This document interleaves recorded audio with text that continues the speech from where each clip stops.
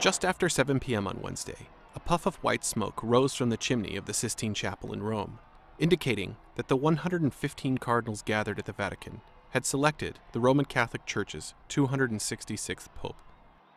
Shortly after, from the balcony of St. Peter's Basilica, Cardinal Jean Louis Tauran announced, Habemus Papam, we have a pope, and introduced Argentina's Cardinal Jorge Mario Bergoglio as the church's new leader. Cardinal Bergoglio, who succeeds Pope Benedict XVI, will be known as Pope Francis. He is not only the first pope from South America, but he will be the first Jesuit to lead the world's 1.2 billion Catholics. Offering prayers for his predecessor and the thousands assembled in St. Peter's Square, 76 year old Pope Francis will take the reins of a church struggling against a declining number of priests, sexual abuse scandals, and pressure to modernize its central administration. But the election of Pope Francis is a departure. As the first non European leader in more than 1,000 years, his election is a clear indication of the Church's intent to focus on the Southern Hemisphere, home to some of the world's largest concentrations of Catholics.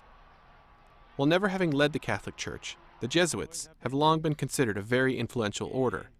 Born as a response to the Reformation in the 16th century, the approximate 20,000 all male Jesuits take a vow of poverty and emphasize spiritual direction based on the spiritual exercises of founder St. Ignatius. It's reported that academically inclined Pope Francis, having been ordained as a priest in 1969, lived a simple life in Buenos Aires, shunning the chauffeur service offered to him as a bishop in the 1990s.